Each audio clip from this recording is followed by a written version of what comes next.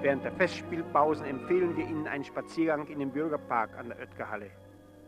Sie werden hier viel Interessantes und Schönes entdecken.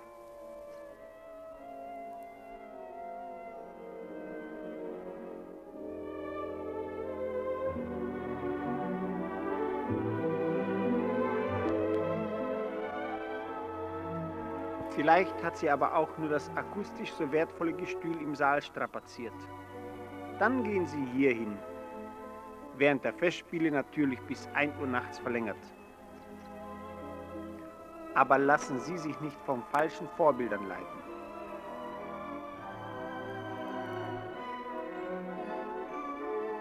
Im Restaurant zur schönen Aussicht werden wir unser Mittagessen genießen. Ein Teil heute, der andere morgen. Und nach dem Essen empfehlen wir Ihnen den Verdauungsspaziergang auf der Promenade. Beispielsweise zur nahen Sparrenburg.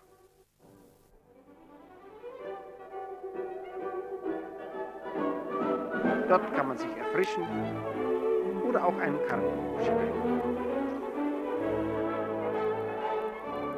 Unterhalb der Sparrenburg steht der Spiegische Hof ein großzügig angelegtes Patrizierhaus aus dem 16. Jahrhundert.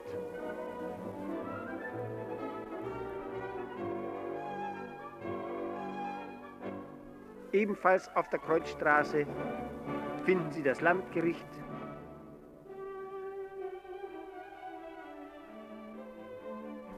und die Neustädter Marienkirche.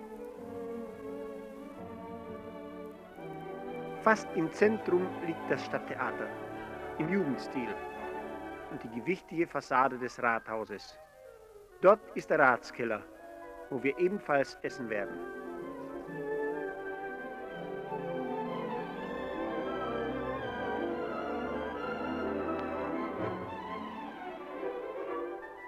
Aber hier geht's nicht abwärts zum Ratskeller, sondern in den Jahnplatztunnel.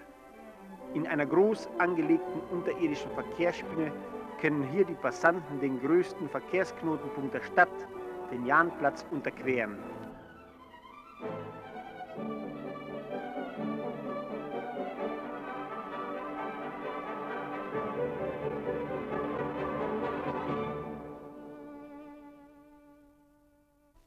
Bis zu 200.000 Fußgänger, mehr als die Stadt Einwohner hat, wechseln hier über elf ein- und Ausgänge, täglich die Straßenseiten, ungehindert vom Autoverkehr Bielefelds.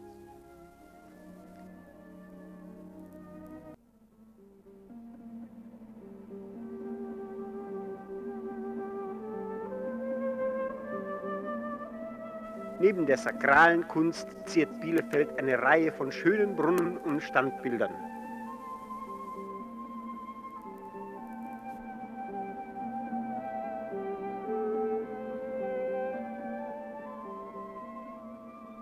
Aber hier ist nicht der städtische Schrottplatz, sondern die erste Dampfmaschine Bielefelds.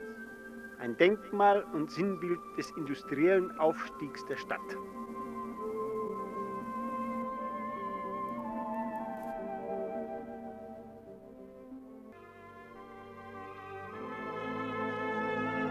Als Sinnbild handwerklichen Gewerbefleißes als Stadtsymbol hat deshalb der Leineweber einen würdigen Platz auf einem Brunnen in der Altstadt gefunden. Unter seinem Zeichen eröffnen wir die 22. Deutschen Amateurfilmfestspiele in Bielefeld 1964.